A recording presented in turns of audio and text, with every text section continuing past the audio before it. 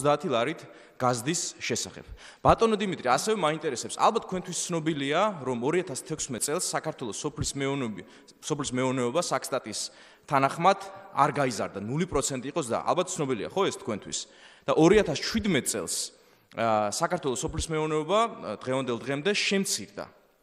ამ ფონზე თქვენ ამაყობთ სოფლის მეურნეობის განვითარებით, მოყავთ სხვადასხვა პროგრამები მაგალითად 150 მილიონი ლარი დაიხარჯა ეგრეთ წოდებული უფასო ხნას თესვის პროგრამაზე 3 წლის განმავლობაში რის შედეგადაც